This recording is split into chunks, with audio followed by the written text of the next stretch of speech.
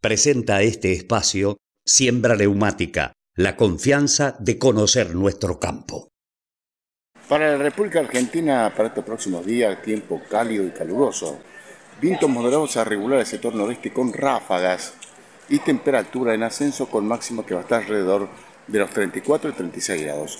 Cambio de masa de aire, rotación de viento al este y sudeste a partir de los próximos 10 días, especialmente para el día 14, eh, el 19 y el 23 de eh, noviembre próximo tendremos humedad con lluvias, tormentas y chaparrones provenientes del sur de Brasil, República Oriental del Uruguay y también la zona del Paraguay y Bolivia, con acumulados importantes entre 40 y 60 milímetros. En tanto, el NOA se presentará con tormentas y chaparrones a partir de la segunda quincena de noviembre, con valores superiores entre los 20 y los 40 milímetros. La temperatura acorde para la época del año.